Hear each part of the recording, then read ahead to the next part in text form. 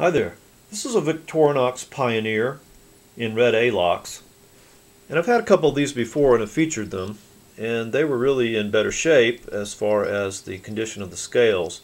But this one has the Elinox tang stamp, which makes it uh, a bit older and rarer knife. Um, the Elinox, that's a combination of Elsener and inoxidable, the French word for stainless steel. Elsener being, you know, the founders of the company and the family that still uh, controls and runs the company. Uh, and Victorinox used the Elinox tang stamp uh, from 1957 when they first came out with the Pioneer or the Sturdy Boy, and up until about um, what 1974.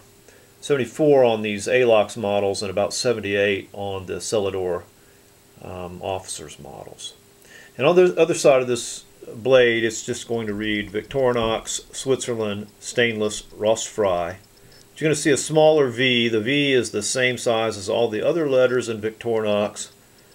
Um, that was, you know, used up until like 1986 or so, and then from 87 to 2008, the V was bigger, and now it's back down to the same size. So uh, this knife's also going to have the brass separator, uh, and the brass spacers, a couple brass pins. And the tools are just like any other um, Pioneer. Got the main blade, spear point blade, and then you have the opening layer, can opener, small screwdriver. Now this knife is not as old as say, you know, the 50s or the 60s. Otherwise it would have the um, Swiss cross and the letters PAT for Swiss patent there. So uh, they stopped doing that in like 72. So this is like a 70 uh, three or four knife, somewhere in the early 70s.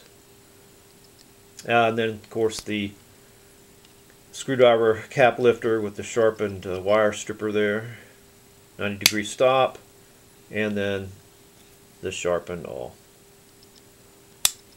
Now the these A-LOX models, these Pioneers, they've got great walk and talk even when they're old. So that's one really nice thing about them. They really were sturdy boys. All right, I just thought that was interesting. You might uh, you can find these out there. Um, they're a little harder to get with Elinox tang stamp, so I thought I would do a video. Thanks for watching.